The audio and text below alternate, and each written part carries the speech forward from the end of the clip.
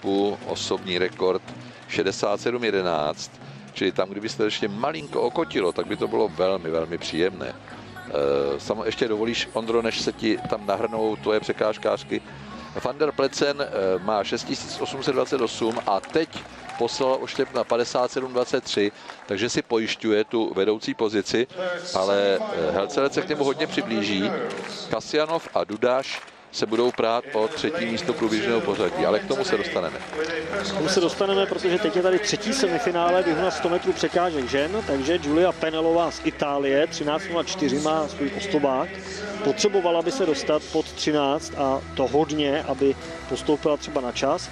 Marina Tomičová ze Slovinska, to je dáma, která drží e, balkánský rekord Norolota Nezriová z Finska, ta pro změnu drží finský rekord. Pak tam máme Tiffany Portrovou, rozenou Ofiliovou, mistrně Evropy z roku 2014, tedy dámu, která obojuje titul mistrně Evropy.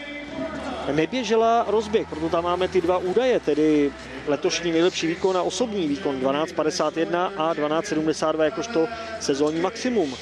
Pamela Dudkievičová, to je Eh, druhá zálového mistrovství Německa z roku 2015. Nadin eh, Vyserová, nizozemská reprezentantka a pozor, to je další sedmibojařka, která se prostě vrhla na ty rychlé disciplíny. Když byla na mistrovství světa v roce 2015 osmá v sedmiboji, tak představte si, běžela 12.81, což je její osobák, a běžela to v rámci toho sedmiboje, což je opravdu jak z říše snů pro mnohé ty dámy, které tady startují. Eh, Elvíra Hermanová z Běloruska, to je teprve 19-letá závodnice, která sbírá zkušenosti a vedle ní je Karolina Kolečková, stříbrná medailistka z mistrovství Evropy do 23 let. Ta přijde na řadu též. No ale sledujeme Nadine Vyserovou, zřejmě v sedmé dráze, ano, opět je to tady posunuto o jednu dráhu do strany. A v páté dráze si režie vybírá Tiffany Portrovou, rozenou Ofiliou, jsem to říkal, britská reprezentantka, obhájkyně titulu, nebo ano, titulu mistrně Evropy.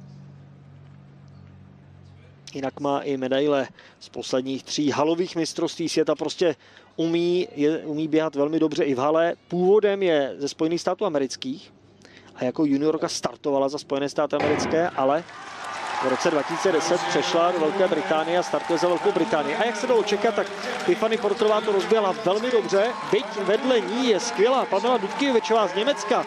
A kdo tam nakonec bude si Typuji, že to bude Pamela Dudkijovičová, i když Norolta Neziriová z Finska běžela také skvěle tu závěrečnou pasáž.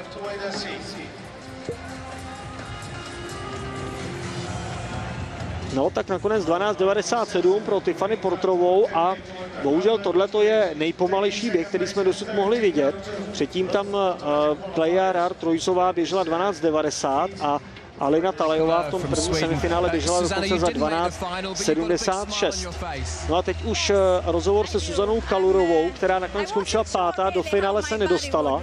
Byť tedy o kousek, protože 12.96 je lepší čas, než, byla, než běžela teď Tiffany Portrová. Ale prostě takhle to bývá, jdou tam Cindy Belordová a Anne Zagrejová, které běžely 12.91, respektive 12.89 very rusty. I don't have many races. Hmm, říká, že to ještě nemá tolik odběháno a je fakt, že ona uh, po těch všech možných zranění. Říká, já jsem prostě taková zrezlá trošku, ještě to ještě nejsem rozhýbaná, ale třeba to ještě přijde pro Zuzanu Kalorovou. Jak jsem říkal, mistrně Evropy z roku 2006 a dámu, která skvěle běhala 60 překážek. To znamená, v těch hal, na ty halové závody se vždy dokázala skvěle připravit. tak na to, že jí 35 let, tak říká, jo, pořád se cítím, jako by bylo 19. We'll see. We'll see how long I will take this. Dlouho, jak dlouho ještě vydrží v rámci uh, závodu. Vidíte, že ten rozhovor byl dělán v době, kdy dobíhaly ostatní dámy a to vlastně Suzana Klorová ještě nevěděla, že ten její čas bude lepší než čas ty. A mohla tam být, ale to už jsou všechno kdyby. Tady Alena Talejová, Cindy Roledora postupují, jak vidíte, třetím časem tam postupují.